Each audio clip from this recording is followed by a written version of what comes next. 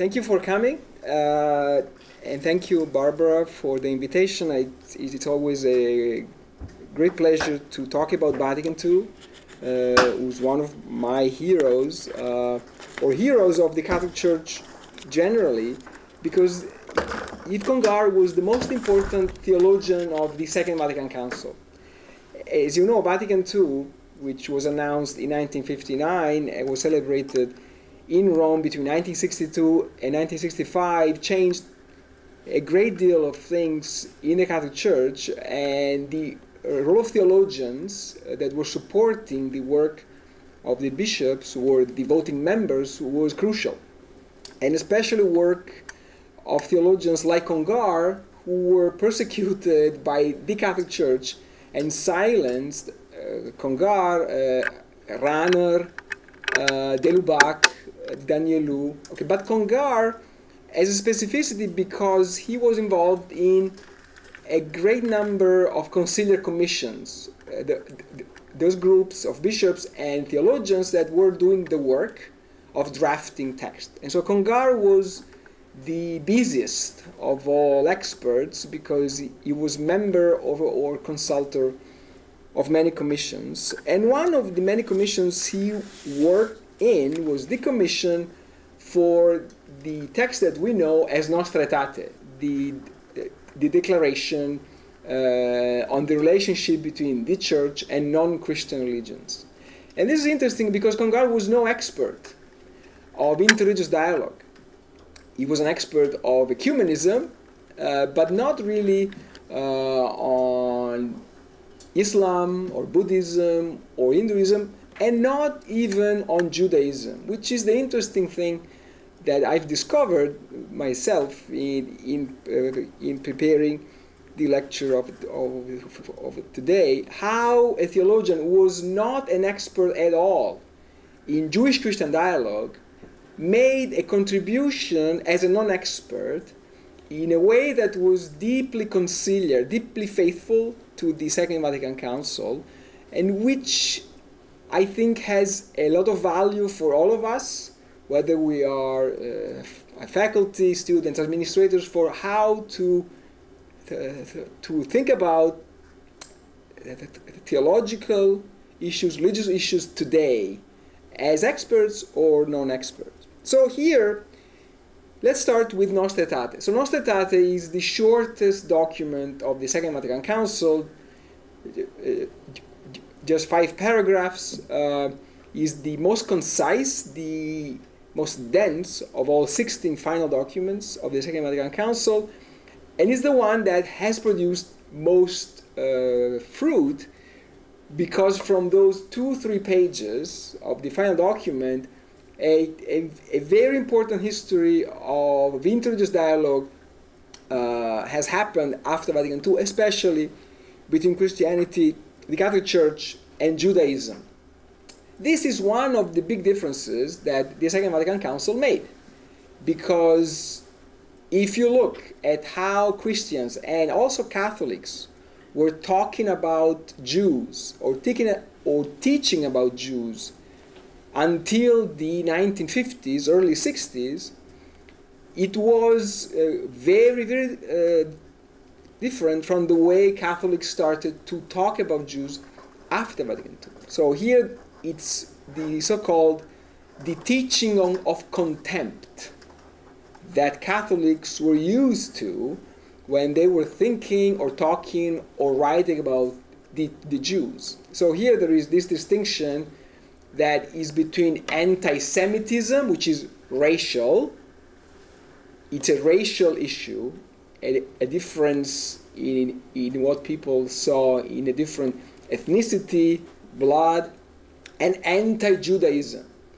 And so here Catholics were not usually part of the anti Semitic movement, or some of them, but that was not really representative of the official position of the Catholic Church. What was representative was anti Jewish teaching. And so Jews were accused of deicide, of having killed Jesus, and that meant that whatever Jews were going through in persecutions in tragedies and so on, it, it was somehow deserved because they had, had called upon themselves the wrath of God and the punishment. Okay? So that was the teaching of the, of the, of the Catholic Church in different forms of languages, different ways until the Second Vatican Council. That was not unique to Catholics, but of course,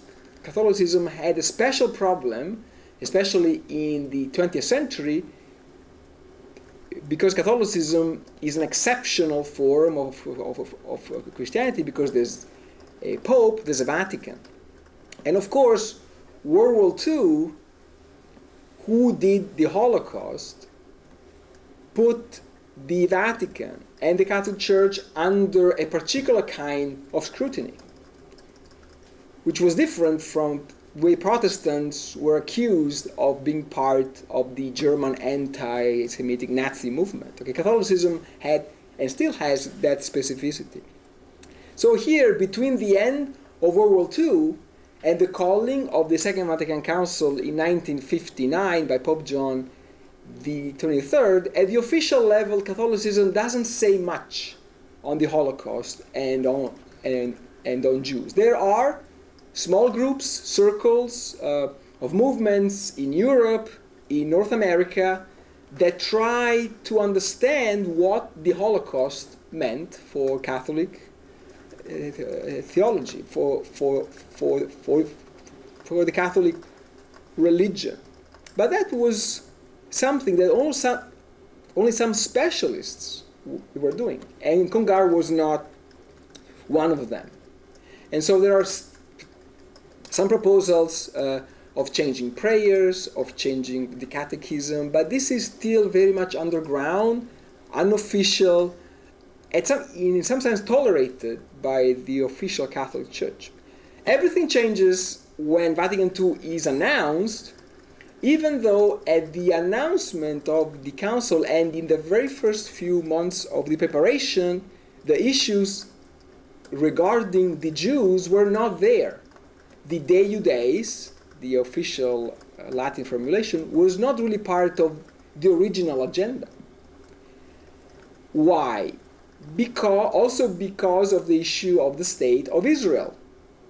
That in 1948 becomes the, the Jewish state, and the Vatican is disturbed by this because they see something that changes the historical political position of Jews in the world. A dispersed nation, a nation in diaspora, now having their own state. And so the Vatican officially reacts with well, this is a state, but we don't acknowledge that. This lasts for a long time, even after the Second Vatican Council. So early on, there is a reluctance of the Catholic Church, official, institutionally, to deal not just with what the Holocaust was, but also with the, the creation of the state of, of Israel, not only for, for theological reasons, but also for uh, issues of safety of Catholics in the Middle East, because all Catholics in the Middle East were living in Arab states at war with Israel. And so this is a continuing issue until today, basically. Whenever the Pope or bishops talk about the state of Israel, they always consider what will my statements mean for Catholics and Christians living in Israel, in the Palestinian lands, in Egypt, in Syria, Jordan. That's it's always like that. But that changes very quickly in 1960 because of um, a couple of events, but especially one. On June 13th, 1960, uh, John the 23rd meets with a Jewish historian, a French, Jules Isaac, who was very famous in France for writing textbooks for high schools. I mean, history textbooks for, for high school, but he was Jewish. And during the, the Vichy regime, he, his whole family had, had been sent to, to the camps, and, and he was the only survivor together with his male son. And he has this audience uh, that is, is arranged in a very complicated way because the Secretariat of State of the Vatican didn't want a French Jew to meet with the Pope. There is a series of obstacles that they try desperately to put and avoid this audience because maybe they knew what was going to happen. And so Jules Isaac, in the end of this audience, asked Pope John, Do we Jew, Jews have a hope from the Second Vatican Council? And Pope John famously replied, this is in, in, in, in the diary of Jules Isaac, said, You are entitled to much more than hope.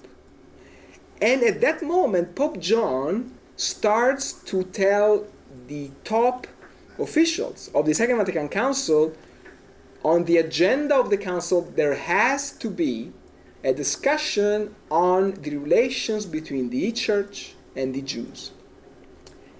And so this is a, a pivotal moment in the history of the entire council, not just for the Jews or, or Nostra Aetate, because the addition of the issue de Judaeis to the agenda of the council meant also give a particularly important portfolio to a newly created commission within Vatican II, the Secretariat for Christian Unity, which were the underdog, the no ones. They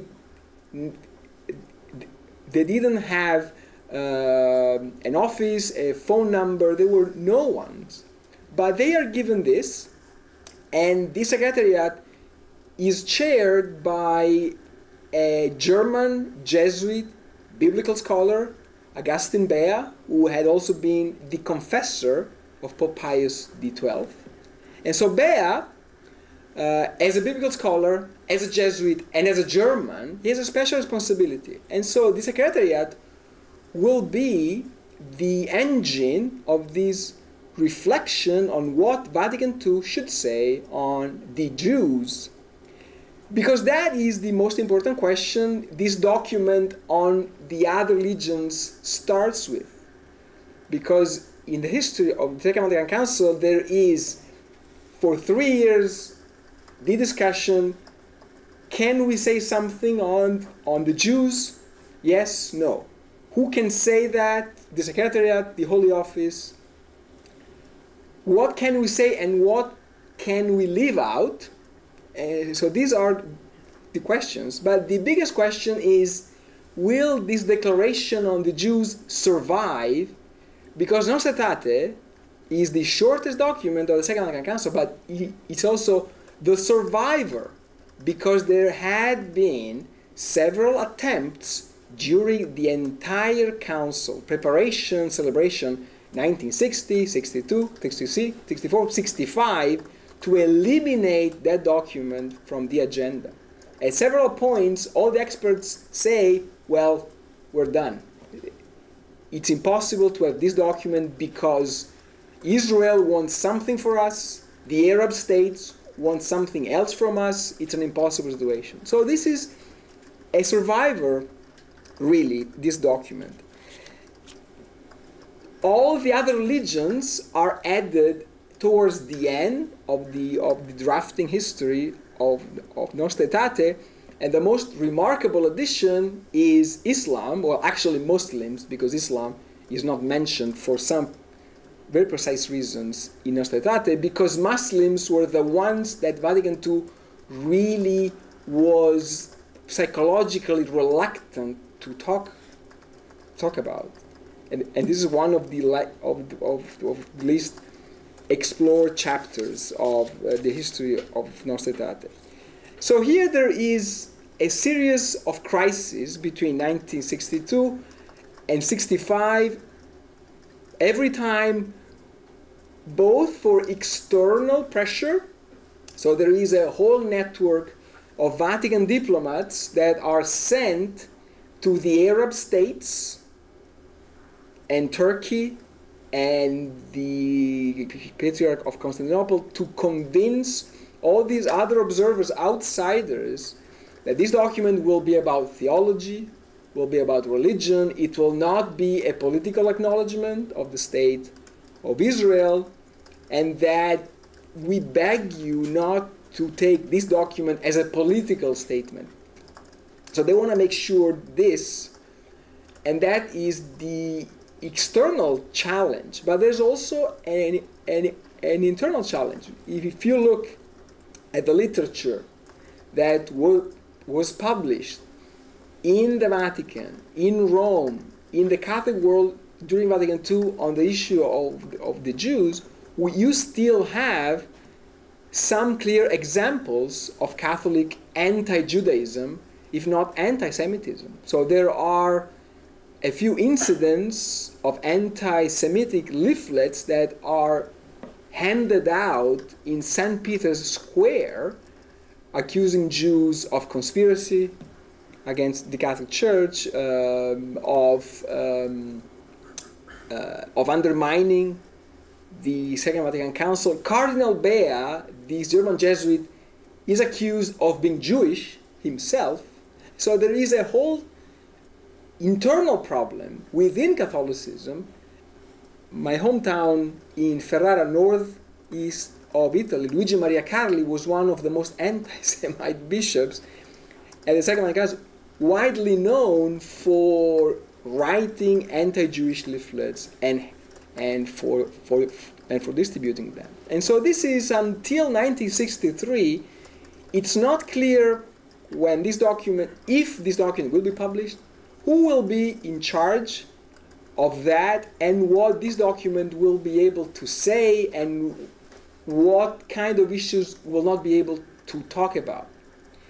And this is when Congar comes in, because Congar was not a specialist of interreligious dialogue, but as Vatican II unfolds, he emerged as the most important theologian on a range of issues beginning with ecumenism and as an historian of the Catholic tradition. Uh, so here, Congar's life is interesting because he is, in some sense, the average, typical European Catholic who, in his entire life, never had meaningful experiences of communion, of table, of school with Jews.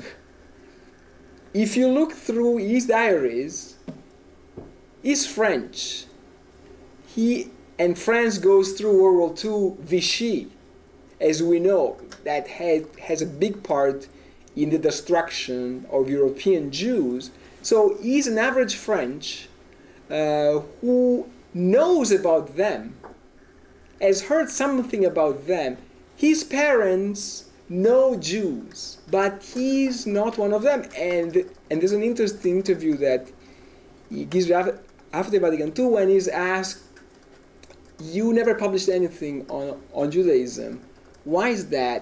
And and the answer is is startling. He said, "I've never been an anti-Semite, but I'm not Jacques Maritain, who was fully engaged, also for, for personal biographical reasons, in learning, studying, publishing about Judaism. And so Congar, in 64, becomes involved in this discussion uh, on Nostra uh, as, as a non-expert.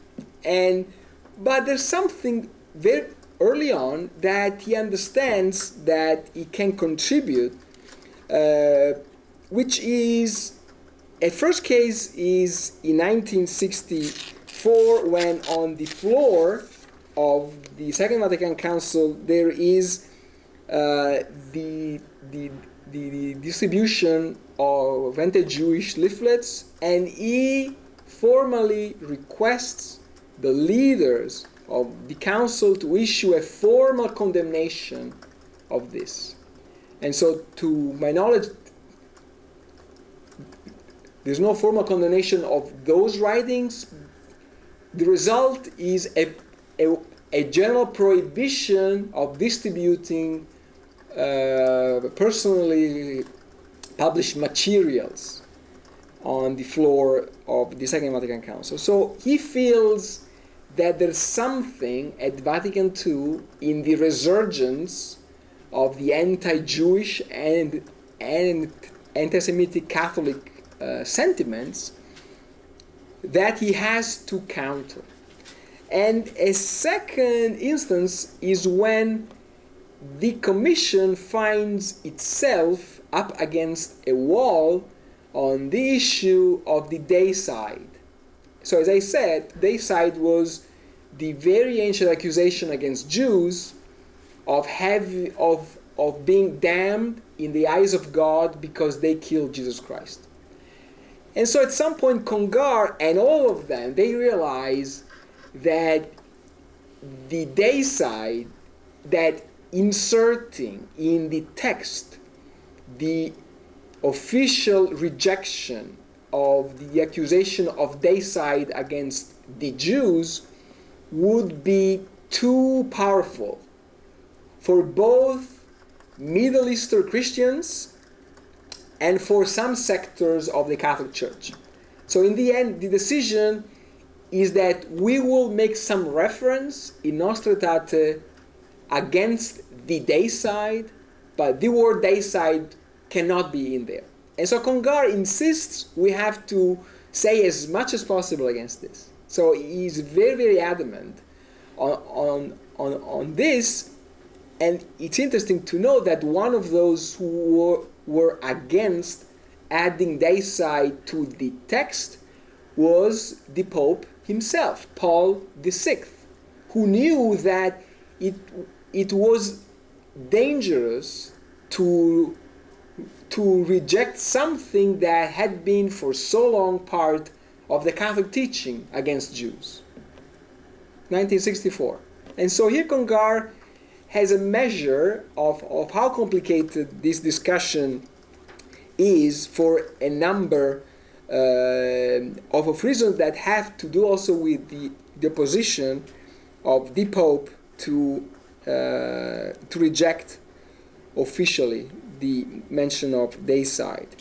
So here in his diary, here, the, uh, the passages on Nostra Aetate, they intensify between the spring of 1964, the second intersession, and the spring of 1965, the third and final intersession, the, the, those months between two conciliar uh, sessions.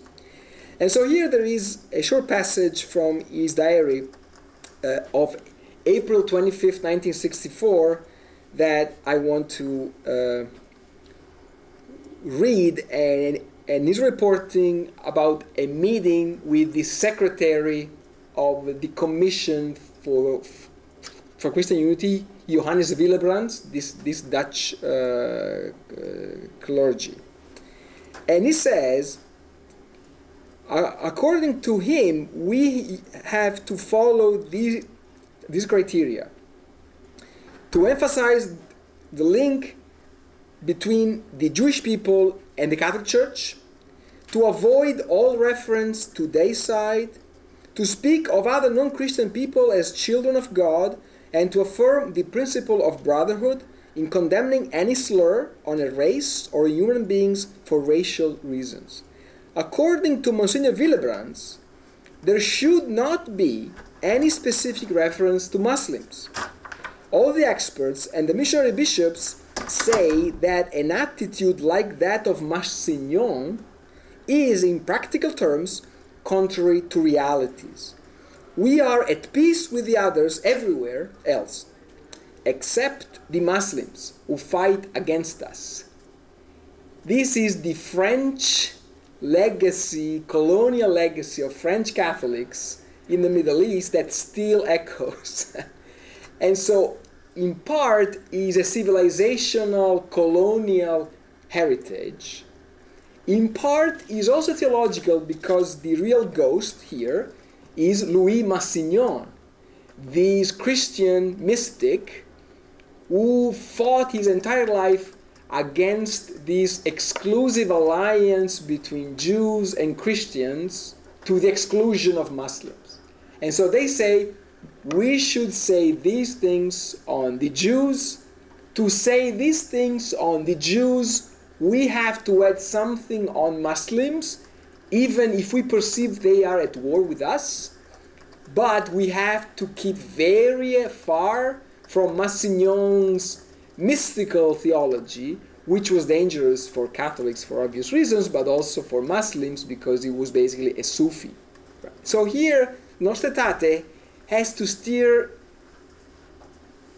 between enormous obstacles, icebergs.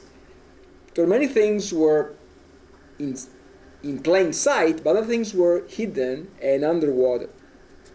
So here, um, at the third session in 1964, we have a resurgence in the aula of St. Peter of anti-Semitism and of anti-Judaism. And at some point, the idea is let's not have a separate document on the Jews, but let's attach a chapter to the constitution on the Jews, uh, on, on, on, on the church, on, on the Declaration, Lumen Gentium, which meant basically do for the Jews the same thing that had been done for the Virgin Mary. Chapter 8 of Lumen Gentium, right? So Lumen Gentium becomes like a train where if there's something you don't know how to put it, okay, Lumen Gentium will take it. Mm-hmm. And so, and so Congar is very much against this, and there is uneasiness because they fear that this will water down the, the import of this statement on, on the Jews. One more problem is the growing anxiety of Pope, of, Pope Paul VI against making a statement on the Jews that looks really new compared to the past teachings of the, of, of, of the Catholic Church. And here there is, uh, in September 64, there is uh, in his diary this, this brief note. The bishops have received in a sealed envelope a statement claiming that Cardinal Bea is of Jewish descent.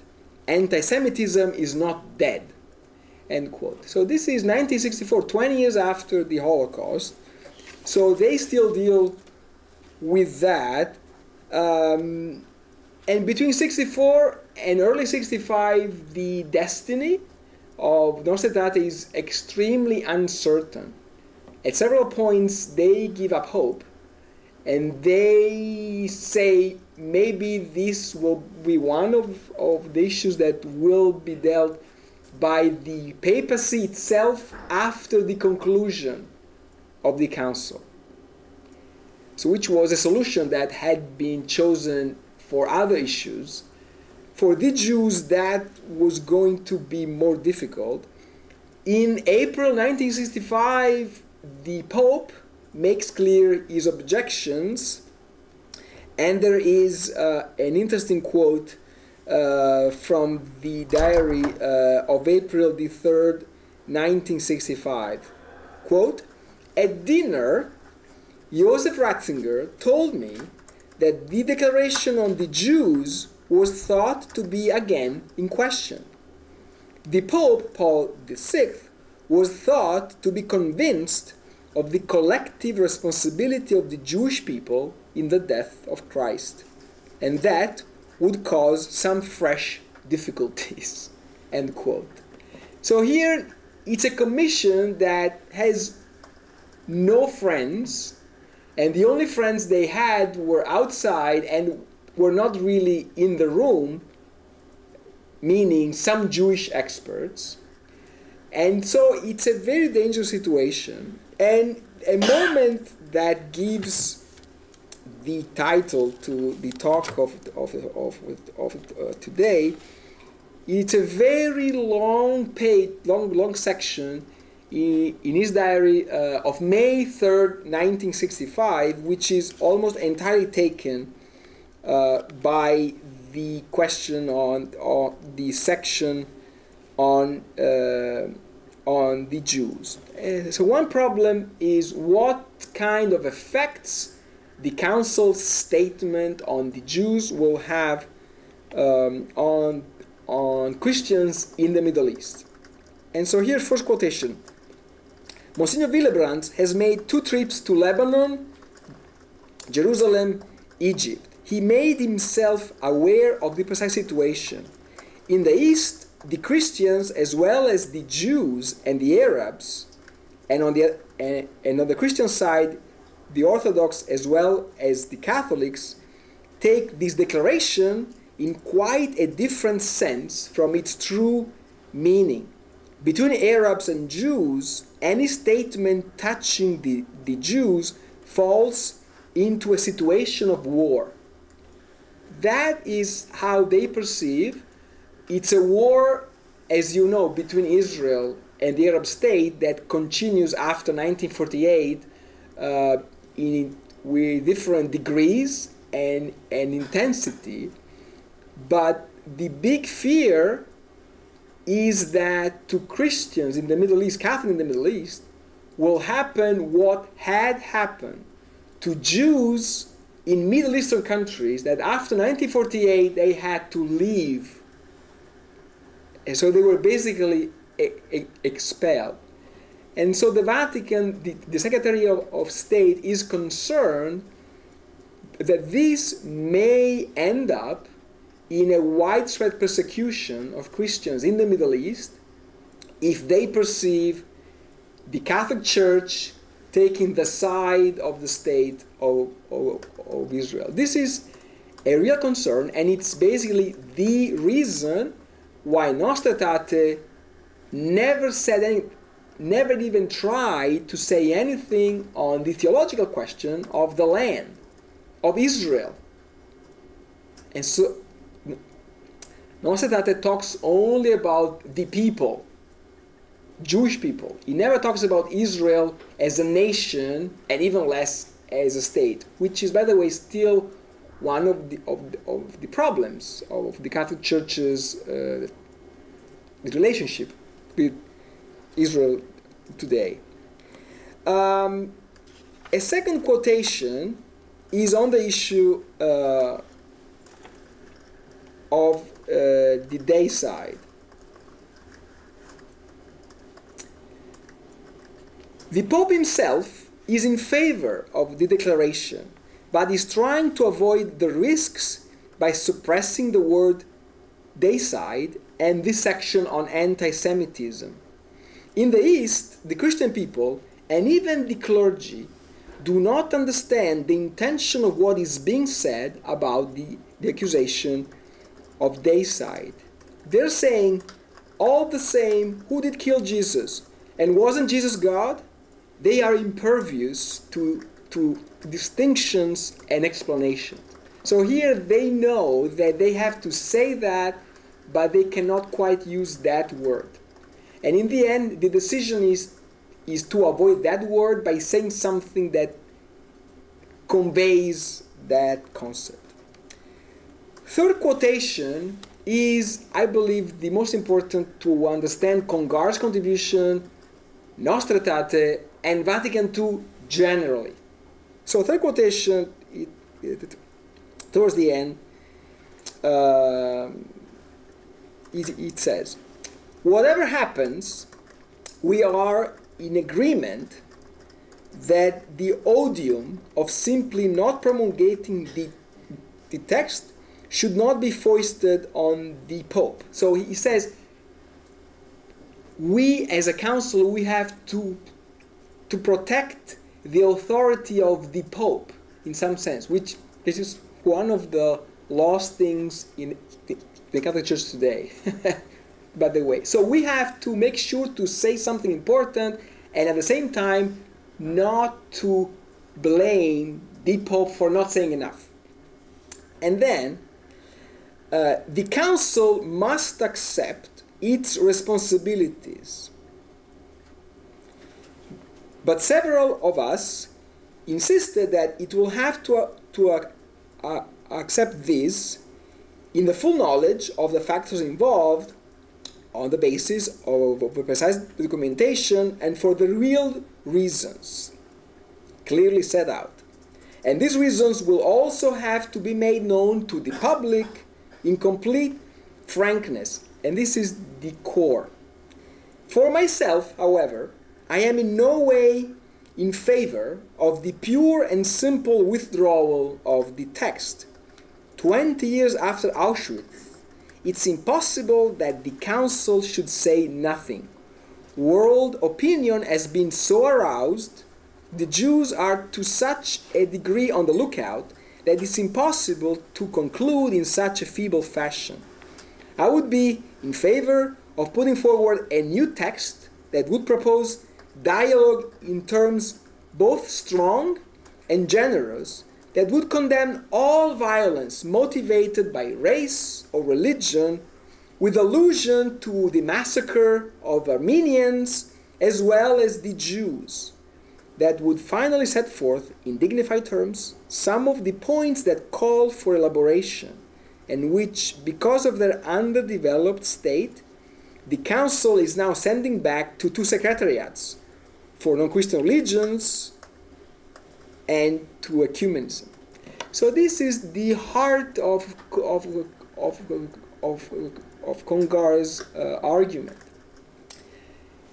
At Vatican II, for all questions, all major theological questions, included the Jews, there are fundamentally two ways of making an argument. One way is to look at what the Catholic, the tradition, the sources uh, can tell us.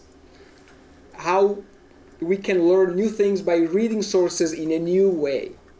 So ressourcement, which is clearly something that for Nostra Aetate is impossible. If you look at the footnotes of Nostra Aetate, it's all scripture.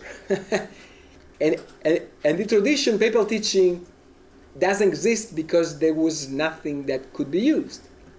Here, Congar, and this is Vatican II in general, says this there are questions that theologically can be addressed only from the perspective of the signs of the times.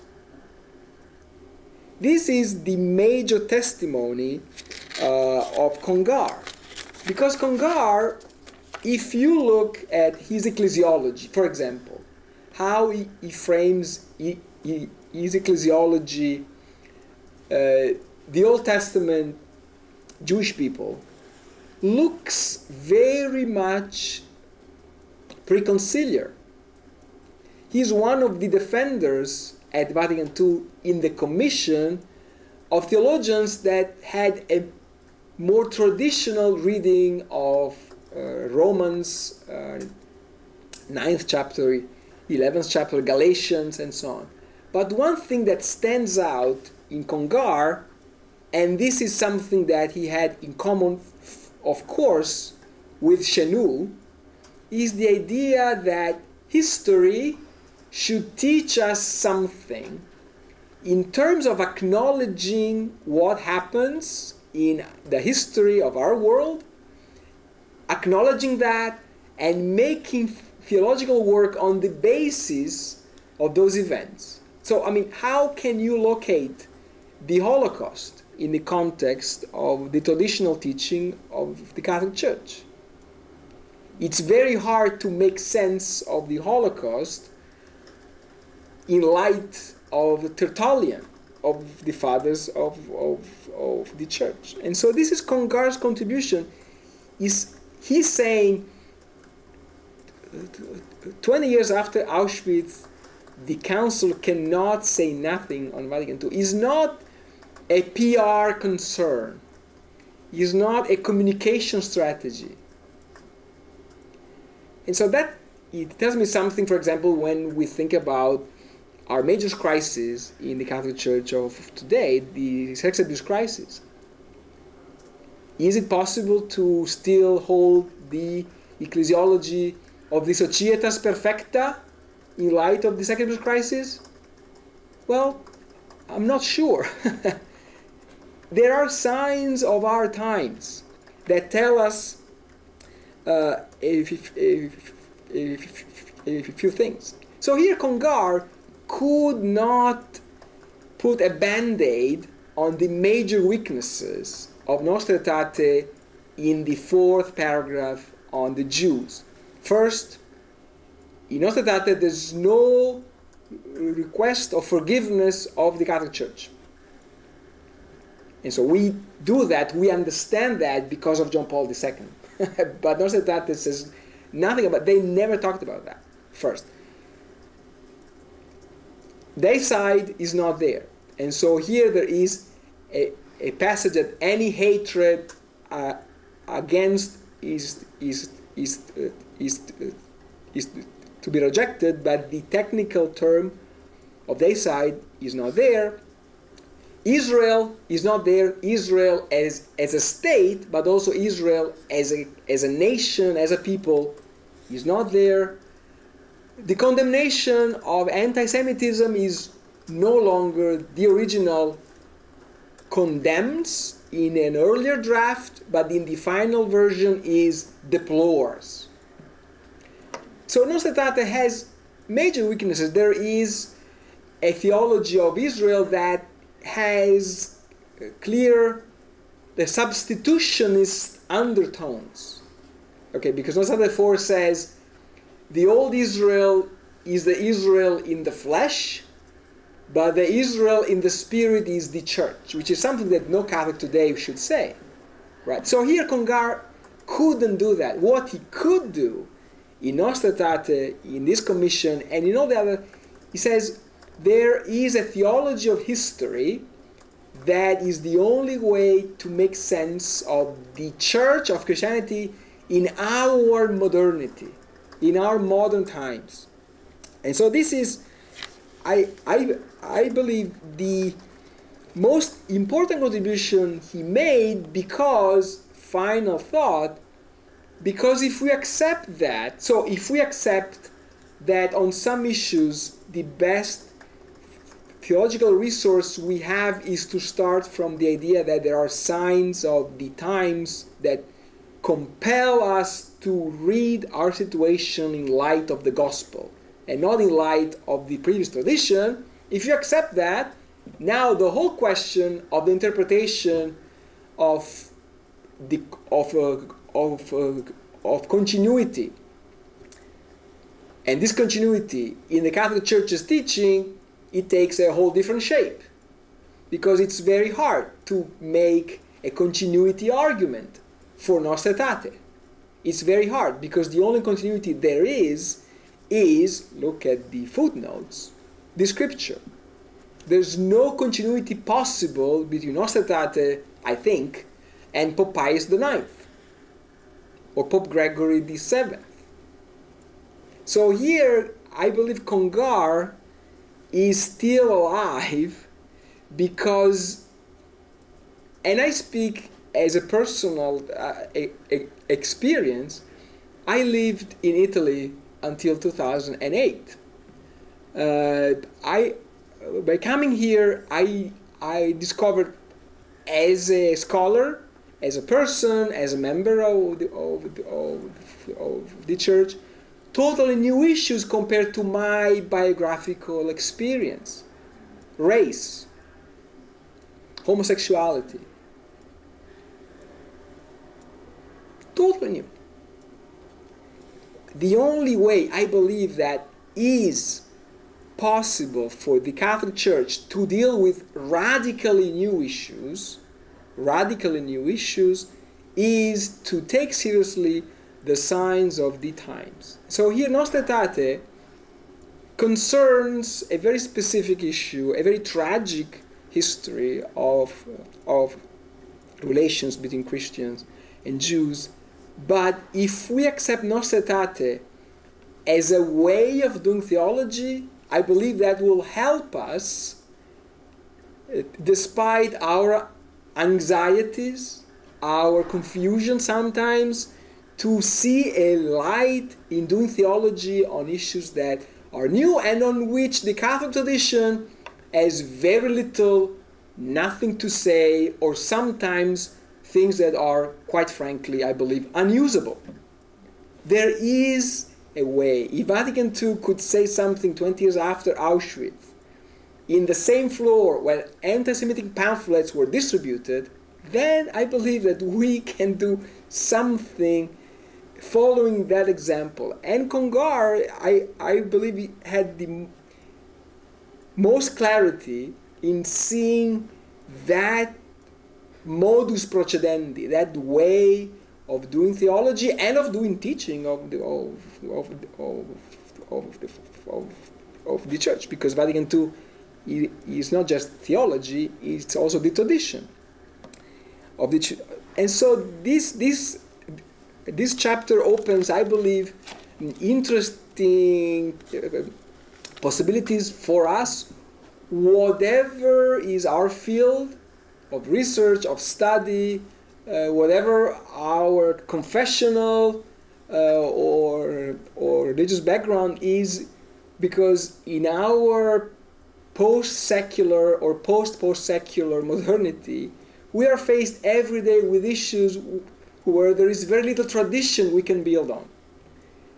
But this is not an impossible task, I think. Uh, so there's a way forward.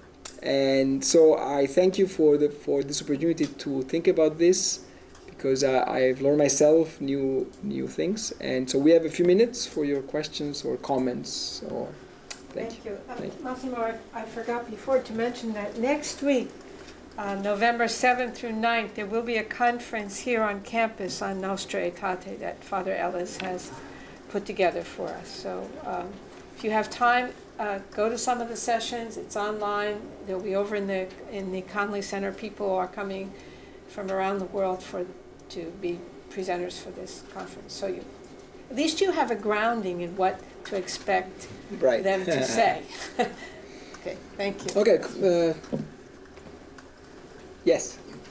Did the Jewish leaders in the U.S. have much input into the they, council? They did, because when Vatican, when in 64, 65, the rumors are that Vatican II will not publish this declaration, there's a huge pushback from the United States. And so this is on this and on religious liberty, but Vatican II could not do what they did without the US. That was uh, also because of, of, of different biographical experiences of bishops. If I'm not mistaken, the, uh, the Cardinal Archbishop of Boston, one of his sisters was married to uh, a Jewish uh, rabbi or something. It was totally unthinkable for an, an, an, an Italian cardinal of course. So that had an, an important uh, part, yes. Yeah. Thanks. I really enjoyed the, the presentation, and you tell it uh, tell your story so compellingly.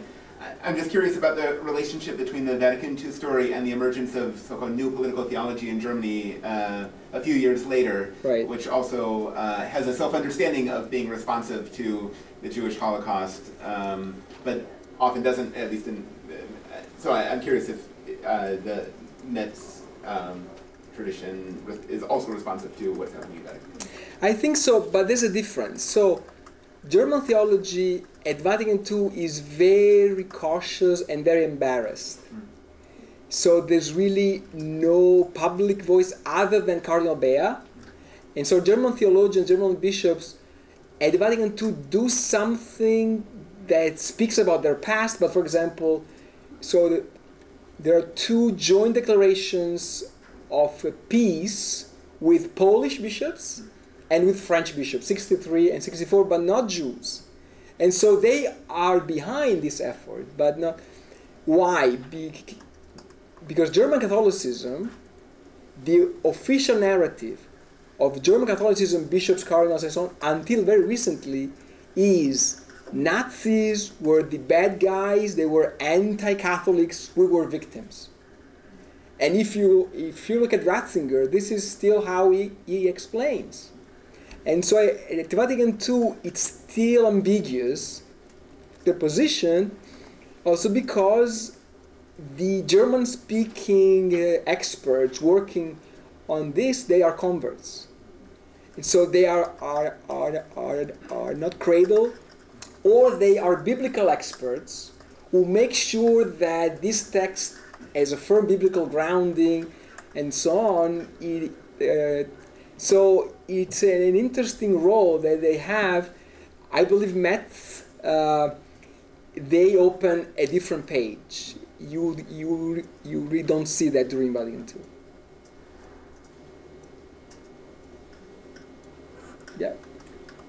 So I, I'm Catholic, and on like Good Friday, many for many years, you're following along in the missal, and there's always this giant disclaimer that I don't remember necessarily when I was a kid, but maybe it was there. But how we should think of the Jews, and we're not, it's not deicide, and blah blah blah. Is that all a result of Nostra Aetate? Of course. So here there is an an interesting precedent. So already Pope Pius the the the twelfth changed something in fifty five in the Good Friday prayer for Jews, but if I remember correctly, it's optional. The decisive change is made by Pope John for Good Friday 1959, where with his own pen on the missal of, uh, of, of, of, St. Peter, he deletes the word perfidis. And so now, so after Vatican II, the concept we pray for those traitor Jews is no longer there.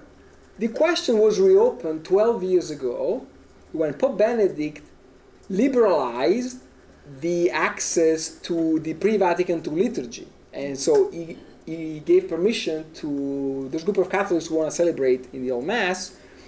And he did that not considering that they would automatically bring back the old prayer of Good Friday for the Jews, which contain the, the Pro Judaeis.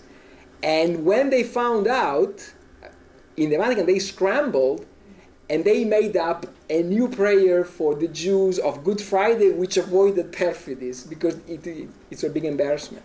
So, yes, that originates from that. Um, and it's one of the things that makes the liturgical reform important. If, if, if you reject the liturgical reform, it means that in some sense you, you reject also Nostra Aetate. I mean, even unconsciously.